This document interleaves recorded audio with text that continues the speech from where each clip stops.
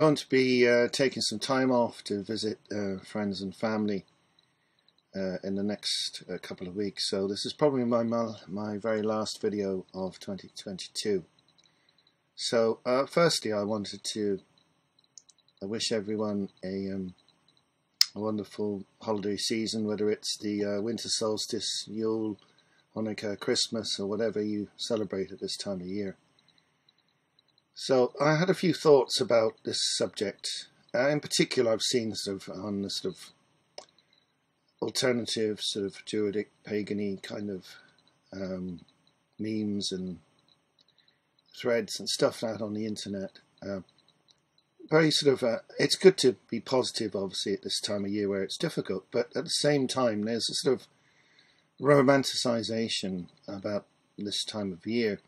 Um, because in reality, um, it historically has been an incredibly difficult uh, period of of time because of it's the darkest the darkest era of the human year.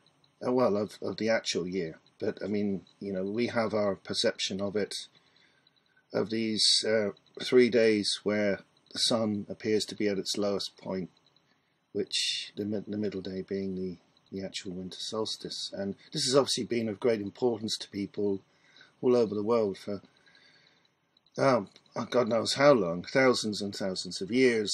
Um, there's probably sites with regard to the uh, the solstices uh, going back far beyond uh, Newgrange or Brú na Bóinne or uh, Slievenbroger uh, uh, which is up in County Meath. It's the most famous place in Ireland. That's probably about roughly uh, four or five thousand years old. But I would think uh, celebrations of this period have been going on a lot longer than that. Um, and the thing is, it, the reason it's important is because you're at a point where you, you really want the sun to come back. You don't want to be in a perpetual winter because it, it's it's freezing, it's cold, it's dark, and that is a time when a lot of um, animals, a lot of people uh, die. You know, historically. Um, so I mean, I look at these these messages, and you know, it's great to have hope, but there's also I sense a sort of sac- uh, a certain lacking in realism. You know, it's all very good when you're sat in your lovely warm house and you've got uh, central heating, you've got lots of food and you've abundance, but this kind of modern celebration of the Christmas period hasn't really been around that long. I mean, if you look at the Victorians, uh, they kind of created many of the traditions that we have today, some of which are based on older ideas, you know, for instance, the Christmas tree was uh, imported from Saxony. That's a tradition that uh, I think uh, Prince Albert brought over to uh, to the UK, and it became popular in other countries too. But I mean that harks back to some pagan tradition. It's not really got anything to do with Christmas. Um, I mean, they were quite dangerous originally because people used candles, maybe in a little lantern, but you know, a risk of fire was quite quite high actually. So I'm sure there must have been plenty of houses that burnt down before they. Um, well, even with the electric lights, early early Christmas lights were quite dangerous, and they would sometimes catch fire and then burn your house down again. But um, what I'm getting at really is that people in the past were generally pretty poor. Most people were poor and they couldn't afford to have a Christmas tree or, or waste candles on lighting up the whole house. And celebrations uh, were a lot more more low key because people didn't have the kind of money to spend on ginormous dinners and endless presents. Um, and again, the, the present giving is a more of a, a modern tradition, really um, here St Stephen's Day, um, and you have some quite different traditions with people going around doing these sort of what's often called sort mummers plays, where you've got this sort of two teams representing the light and the dark, and it's sort of traditional to give like small gifts or money or drink to the people. And in the UK, you've got sort of Boxing Day, which you know is a traditional day for, for giving gifts. Although I think these days most people tend to uh, to do that on Christmas Day. But I mean, Christmas itself is placed where it is because of the winter solstice, and there's many parallels between the idea of Jesus and uh, the character called uh, or Anmakan, which is the child of light, which is the re-emergence of sun. And you'll find in early of Christianity a lot of influence of Mithra and Sol Invictus, and also from Egyptian religion, you know, the idea of Horus, a lot of parallels there. So uh, it was very deliberately put at the winter solstice, the you know the birth time of Jesus. Although it's been suggested by many people who are interested in uh, astronomy that historically this sort of Star of Bethlehem would have been in the sky at the you know at, at that particular sort of moment of of birth would be a sort of probably around April. I mean, it's very difficult to prove, but the you know the the replacement at Christmas is is totally arbitrary, um, and it's all to do with the the winter solstice. At least um, that would be make sense given that uh, Jesus represents this sort of you know a sudden hope, this birth of, of, of light and positivity and love and holiness, which are concepts that were already long established in the past.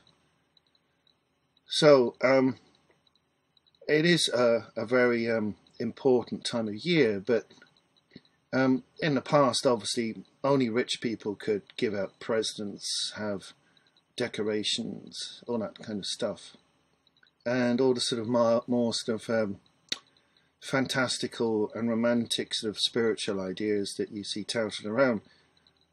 They're very much a luxury for for people that have time to to stay home, eat loads of food, and do nothing. So, I think in the greatest of span of human history, there might have been a pause to reflect on this time of year of the, the greatest darkness and hopes for a transition through the winter and surviving the winter into better times and the re-emergence of of the crops and the plants and everything in in springtime, which is what everyone will be waiting for.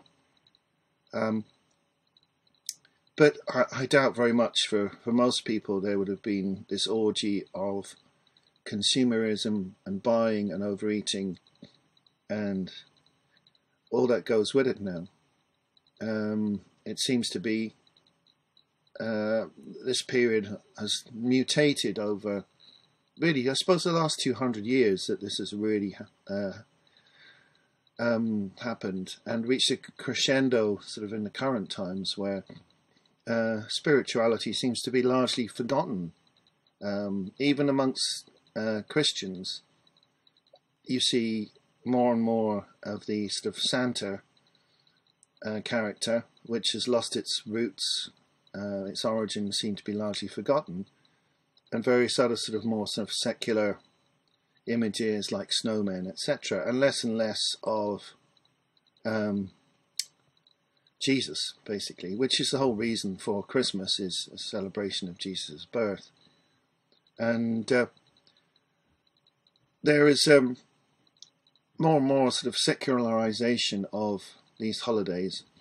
And, and I mean, I'm not a Christian myself, but I'm aware that this is a particularly significant time of year for for Christians, and uh, I'm I find it a bit disturbing to see it dumbed down to the extent that uh, I'd say a lot of children might be um, largely unaware of of what it's all about. They just know they're going to get loads of presents, and it's you know it's a fun time of year. But I, I do think it's important to remember what this time of year is about.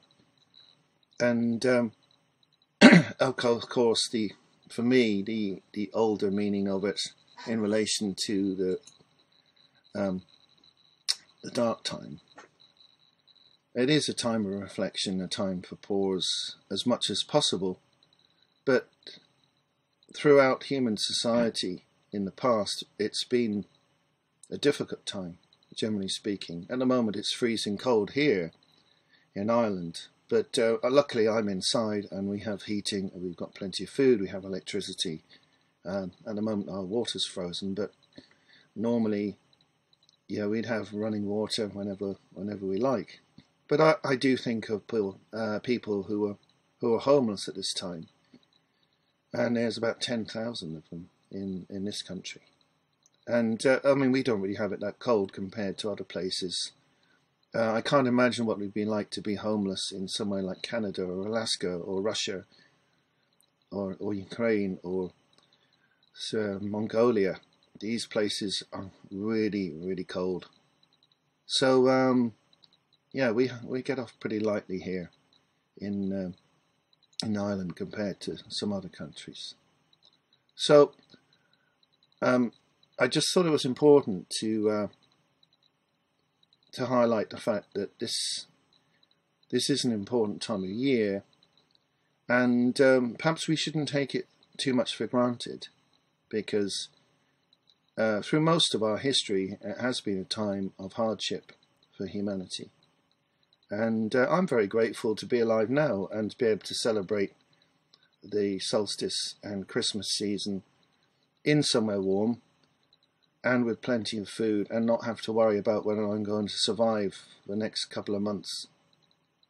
Um, which in the past must have been quite daunting for for many people and still is for those who are in uh, in great hardship, especially in the more northern countries where it really does get cold. So anyway, that's all I have to say for now. And you might spare thought for homeless people. I'm putting a link in the description if you want to donate to the Simon community, they help to support um, homeless people, especially at this time of year, trying to get homeless people off the streets and into somewhere decent for Christmas where they can at least get a proper meal and have a bed to sleep in. Okay, thanks for listening and please give a like uh, or even subscribe if you enjoyed what I had to say. Bye for now.